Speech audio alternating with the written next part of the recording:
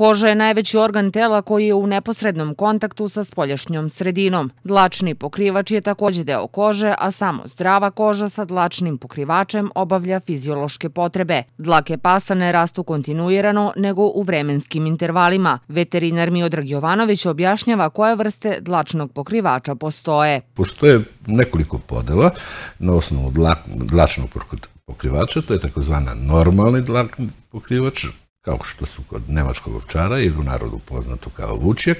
Zatim ima kratka dlaka i dugo dlaka. Što se tiče kratke dlake, e, podeljene u dve grupe, ovaj, na, na grubu i finu dlaku. Gruba dlaka je recimo kod uh, Rottweilera, kod uh, terijera, dok fina dlaka kod ovih pinčeva ili mopsova.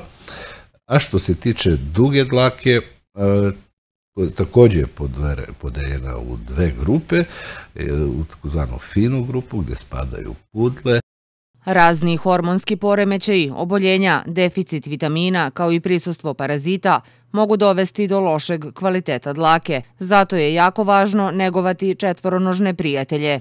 Svrab nije znak, odnosno ovaj, daje neko oboljenje u pitanju, nego je to kao, ajde da kažemo, ovaj, simptom koji nas asocira da, da je sa tom životinjom nešto nije u redu. Takođe, i sjaj dlake nam može dati dobar, biti dobar pokazatelj. Vlasnici kućnih ljubimaca, kada primete bilo kakvu pojavu ovaj, promene ponašanja, da li se životinje češe, da li pojačano padanje dlake, je prisutna obavezno odvedu svog kućnog ljubimca kod e, svog ordinirajućeg e, veterinara.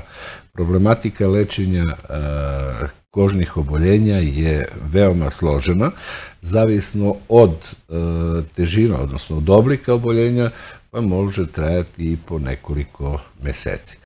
Svakodnevno očetkanje vaših ljubimaca pomoći će u skidanju nečistoća sa dlake i kože i činit će krzno sjajnim, urednim i kvalitetnim. Četkanjem možete primetiti parazite, razne infekcije i upale, kao i promene na koži u vidu kvržica, što zahteva obaveznu posetu veterinaru.